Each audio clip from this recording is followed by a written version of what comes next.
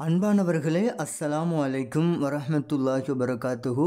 Israel நாட்டில் பலஸ்தீன ஆண்களும் பெண்களும் முழு நிர்வாணப்படுத்தப்பட்டு கற்பழிக்கப்படுவதாக செய்திகள் கூறி கொண்டிருக்கின்றன எனவே அன்பானவர்களே அந்த மக்களுக்காக தஹஜ்ஜத் தொழுது நோன்பு பிடித்து துவா செய்யுமாறு வேண்டுகின்றோம்.